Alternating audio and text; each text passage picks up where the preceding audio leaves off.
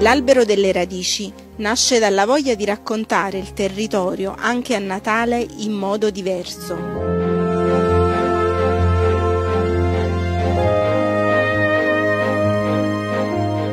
Le radici affondano nella terra, ma ti permettono di toccare il cielo. Questo il messaggio che parte da Santa Paolina per valorizzare le due grandi eccellenze. Questo è un albero che rappresenta il nostro territorio, quelle che sono le nostre risorse, in questo caso i grappoli d'uva rappresentano diciamo, il greco di tufo e poi ci sono le foto che rappresentano tutti coloro che hanno lavorato attraverso la scuola di Tombolo per trasmettere quest'arte alle nuove generazioni.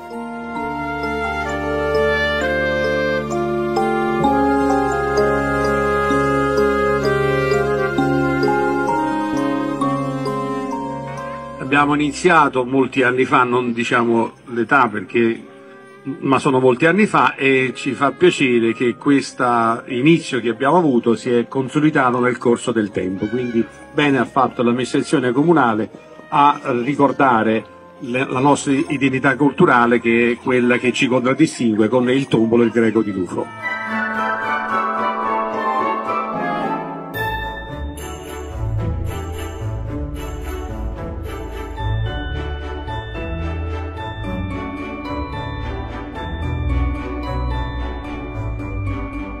Siamo qui a inaugurare questo bellissimo albero delle radici a Santa Paolina che festeggia diciamo, il Natale ma che è l'inizio del nostro percorso che abbiamo fatto insieme con questo POC per la valorizzazione del territorio. Ben vengano queste manifestazioni perché abbiamo veramente delle, delle, cose straordinarie, delle eccellenze che devono avere la giusta valorizzazione. Manifestazioni come questa di stasera devono avere la funzione proprio di farle conoscere a tutti.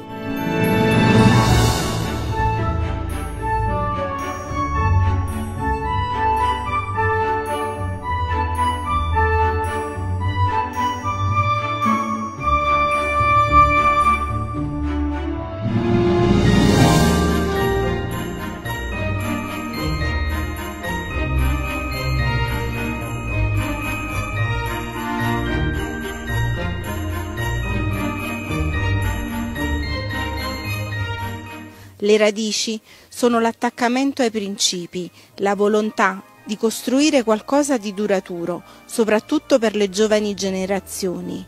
La presenza di tanti bambini questa sera è il messaggio migliore per combattere lo spopolamento di queste aree interne.